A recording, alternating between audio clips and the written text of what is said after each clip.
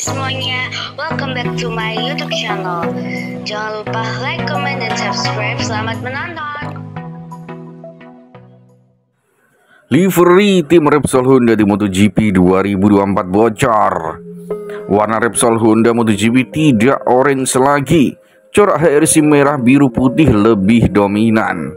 Musim baru dengan livery baru Repsol Honda adalah tim pabrikan yang jarang merubah warna dasar secara radikal. Akankah RC213V 2004 lebih dominan warna HRC dengan tiga warna?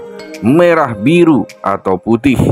Kemungkinan menurunnya presentasi Repsol Honda setelah 30 tahun bersama Honda. Tim Repsol Honda berencana melakukan presentasi tim pada pertengahan Februari.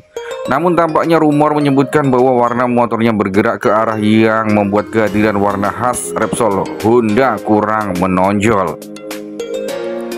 Tahun ini sepertinya Repsol sudah lama menjadi wajah motor RCV sebagai sponsor utama akan tampil lebih kecil Raksasa minyak Spanyol Repsol dan Honda memulai hubungan mereka pada MotoGP tahun 95. Repsol Honda telah menjadi bagian integral dari MotoGP dan tahun ini menandai peringatan 30 tahun hubungan mereka. Namun tahun ini menandai ulang tahunnya yang ke-30 Honda memutuskan untuk membuat warna corporate-nya lebih terlihat dan kehadiran Repsol akan lebih kecil. Kontrak antara Honda dan Repsol saat ini berlaku hingga akhir tahun 2024. Kontrak tersebut menyebutkan kelanjutan pembalap Spanyol Mar Marquez, namun Marquez akan meninggalkan Honda pada akhir tahun 2023. Hal ini memungkinkan Repsol untuk menegosiasi ulang situasi keuangannya dan Honda saat ini menilai kontribusi sponsor tidak sepenting menjadi paling menonjol pada livery pada motor 2024. Selain itu, Honda telah berupaya memperkuat citra merek dan warna korporatnya merah, biru, putih selama bertahun-tahun.